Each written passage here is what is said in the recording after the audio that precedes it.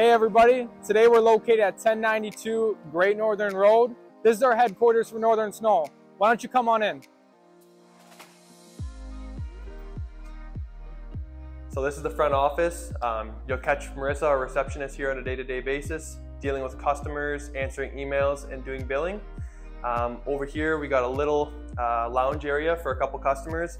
If they're waiting to talk to one of us or there's a customer ahead of them, um, they got a little place to sit. And then over here is the front desk, keeping everything, you know, organized, very straightforward. And this is my office. So black and white scheme, a little bit of red. Um, you'll catch me here on a day-to-day -day basis, answering emails, dealing with customers, doing some quoting um, and managing. Uh, it's a nice little humble space, nothing too, too much. It, it, it definitely suits the operation. Come with me, we'll take a walk down to my office. So this is where I make it all happen. You'll usually catch me on a day-to-day -day basis sitting right here, always on the phone, usually making sales, dealing with customers, support, etc., all that fun stuff. Um, that's pretty much it, really. You'll catch our coder, Matt, in the back. This is our website developer. Now let's, uh, let's take it over to the shop.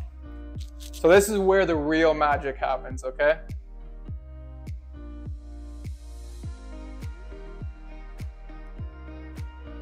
Here's our shop. We're sitting out there.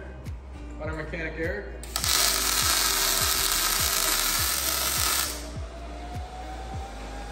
Hi everyone, my name is Eric and I am the guy who does here all the mechanical work and also I am the director of operation. In the winter, I'm gonna be uh, supervising that every one of the driveways gets done properly and if any of the operators gets a problem, uh, I'm gonna be going and help them to get it fixed. So in here, we have uh, 4066R tractor. This is one of the smaller tractors we needed for the uh, driveways that are a little bit uh, small.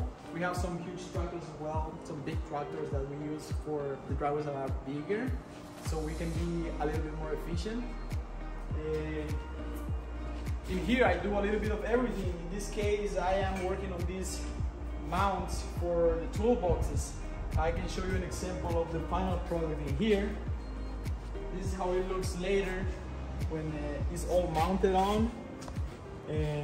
We all, I also been uh, working on installing some shovels for when the chutes get clogged.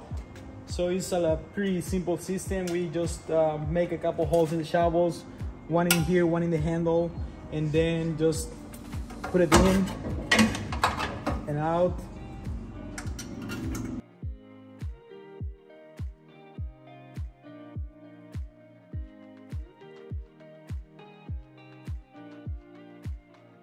This is where we have our spare parts. In this case, we have the 4 series, 5 series, 6 series in here. If any of the blowers breaks, like we also have every single imaginable part that we can use to fix it. In there, we have also fuel tank that we're gonna be mounting in one of our trucks that in case someone runs out of gas, we got it. All the kits to fix everything. We will have a pump in here to help them. And uh, keep hydrated.